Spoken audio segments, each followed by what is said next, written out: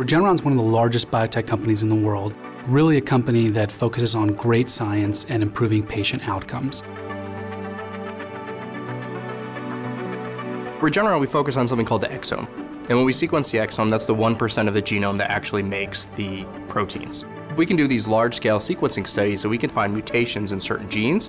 Then we can have very high confidence that with our antibody-based technology, we can bind specifically to those protein targets that we find and make a very effective drug that can help cure diseases. We've sequenced about 150,000 people in our last two or three years, and we're also moving forward at a capacity of, you know, in excess of 150,000 people a year. And now we're doing very large-scale human genetics gene discovery for new target discovery.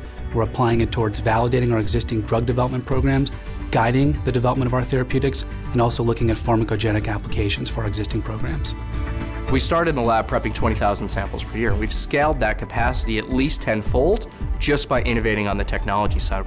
Just three years later now, we've increased those targets to be a couple hundred thousand exomes per year. And so as we continue to scale that, we need to have sequencing capacity that can keep up with that. The NovaSeq platform and the continual innovation and ability to scale our sequencing and our numbers is really going to help us now do what we've done for our first handful of diseases and discoveries across the board. It used to be that our rate limiting step now would be at the sequencers, and we could add more sequencers to compensate with that. But with the NovaSeq, I'm sure it's going to be a while before we're outstripping the capacity of those machines.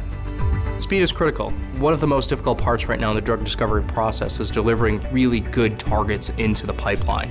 And that the faster we can sequence these samples and the bigger we can build up these data sets, the more success we're going to have. As we think about continually scaling our sequencing output, it becomes a little bit unrealistic to continue to add machines to our current existing fleet. We have over a dozen different machines in our sequencing fleet right now. So this new platform, this new infrastructure allows us basically to start over and redesign for a whole new uh, scale and output that we want to move for the future.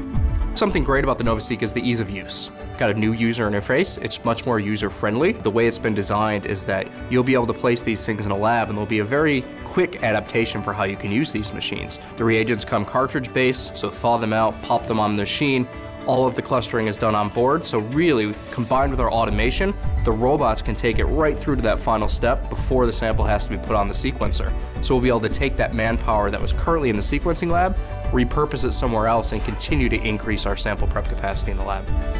We used to think about projects in a certain size and feasibility, and we've completely blown that up. Once we get the NovaSeqs, one of the first things we'll do is we'll compare it back to our data that we've already generated in the lab. And for what we've already seen from Illumina, it looks like the data will be incredibly high quality, on par Q30 scores with what the 2500s are producing. We're confident that Illumina has developed this two-color chemistry to a level that it's going to be huge production scale success. We at Regeneron have been the firmest and most strident believers in the power of human genetics and the need for human genetics in our industry for drug discovery and development. We certainly could not do this without the technology and the capabilities that we've been enabled by Illumina.